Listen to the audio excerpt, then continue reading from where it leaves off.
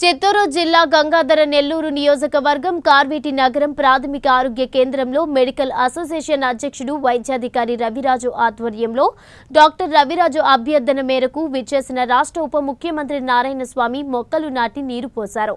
ఈ సందర్భంగా ఉప ముఖ్యమంత్రి నారాయణ స్వామి మాట్లాడుతూ మొక్కలు పెంచడంతోనే కాలుష్యాన్ని నివారించవచ్చు అన్నారు.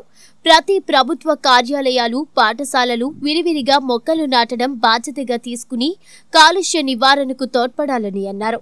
ఈ కార్యక్రమంలో ప్రాథమిక ఆరోగ్య కేంద్రం సిబ్బంది సూపర్వైజర్ గురు సుబ్రహ్మణ్యం మండల కార్యదర్శి ధనుంజయ వర్మ గురువర్మ పాల్గొన్నారు. నీకు పారేస్తారు వెనకాలం చూడు వెనకాలం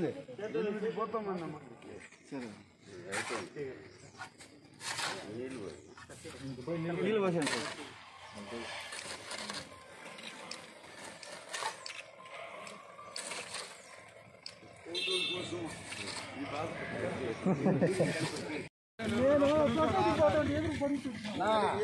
ఆయన ఏది ప్రోగ్రామ్ పెడతాను ఎటన్నా కానీ తిప్పేసాను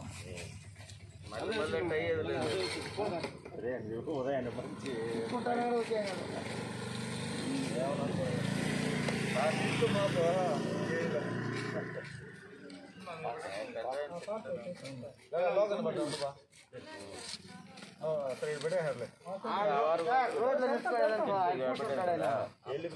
ఆ, మేము కావాలని నిల్చున్నాం. సరే, చూద్దాము. ఏం చేద్దాము నేను.